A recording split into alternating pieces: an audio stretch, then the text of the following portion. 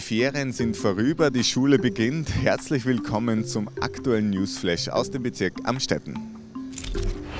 Ja, und zum Thema Schulbeginn ist natürlich das Thema Schultasche und Rucksäcke ganz aktuell. Und da sind wir am Hauptplatz bei Skribo. Äh, welche Schultaschen sind da die gängigsten aktuell? Ja, äh, also äh, wir haben äh, verschiedene äh, Firmen im Sortiment.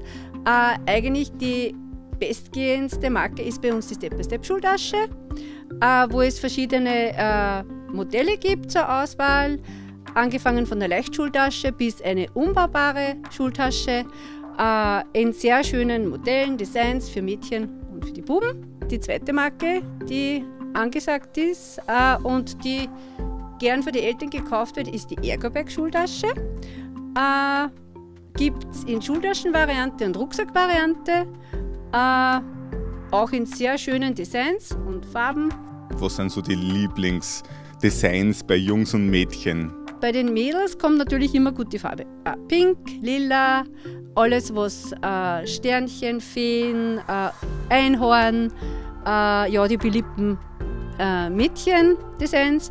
Bei den Jungs? Bei den Jungs äh, war heuer äh, so das Feuerwehrmotiv, äh, Landmaschinen, nach wie vor Dinosaurier ist aktuell, äh, Tiefseetauch, also ja, Polizei nach wie vor. Also es gibt eine große Auswahl an.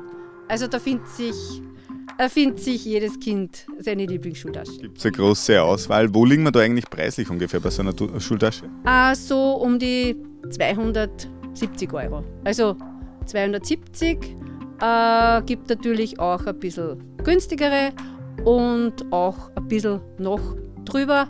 Ja. Jetzt ist ja eigentlich eher die Zeit von den Rucksäcken. Warum ist das jetzt da die Zeit? Äh, weil bei uns äh, eher zu Ostern die Schultasche der Osterhase bringt und da jetzt eigentlich die meisten die Schultasche schon haben. Und jetzt ist eigentlich Rucksackthema angesagt für die Mittelschule. Äh, ja, also das ist jetzt die bestgehendste Zeit eben für Rucksackkauf. Ja, liebe Annemarie, und es habt äh, da bei euch eine super Aktion für die Schultaschen und Schulrucksäcke. Äh, ja, äh, beim Kauf einer Schultasche bei uns äh, bekommt man einen 30-Euro-Gutschein. Den kann man dann einlösen für die Schulsachen, äh, alles, was man jetzt sonst noch braucht, Handarbeitskoffer, Schultüte. Äh, das ist wie Bargeld und das kann man dann eben auch einlösen. Sehr wertvoll jetzt gerade. Ja, in Zeiten wie diesen kann man das, glaube ich, diesen Gutschein sehr gut gebrauchen. Ja, beim heutigen Newsflash holen wir Sie Informationen direkt aus erster Hand, und zwar vom Bürgermeister von Amstetten, Christian Haberhauer. Äh, Baustellen war das große Thema im Sommer 2023. Wie ist die aktuelle Lage? Was für Baustellen gibt es? Ja, einer der größten Baustellen ist der Hauptplatz. Äh, Da haben wir im Sommer eine kleine Sperre machen müssen für drei Wochen.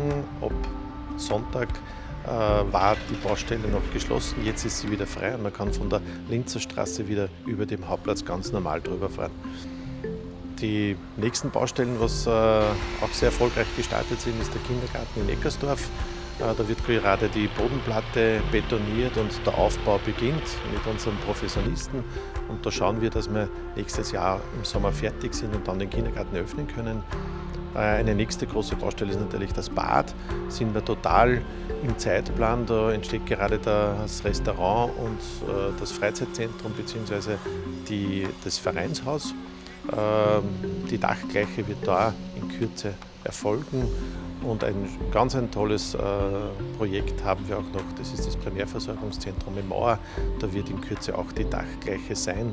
Somit sind wir für den Winter äh, wettergeschützt und der Innenausbau kann vonstatten gehen.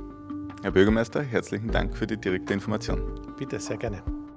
Ähm, Thema Zinsentwicklung ist ja momentan eine ganz interessante, auch für junge Leute. Wie sehen Sie das Ganze? Also ich muss Ihnen sagen, diese Zinsentwicklung ist in meinen Augen wirklich nur für Banken ein Gewinn. Ja, das Thema Zinsen ist ja gerade ein ganz aktuelles Thema. Wie sind Sie betroffen von dem Ganzen? Die Zinsen sind nach wie vor sind mir etwas zu wenig. Wenn man die Zinsen am Sparbuch oder am Konto vergleicht mit den Kreditzinsen, ist es eigentlich eine absolute Frechheit. Nicht?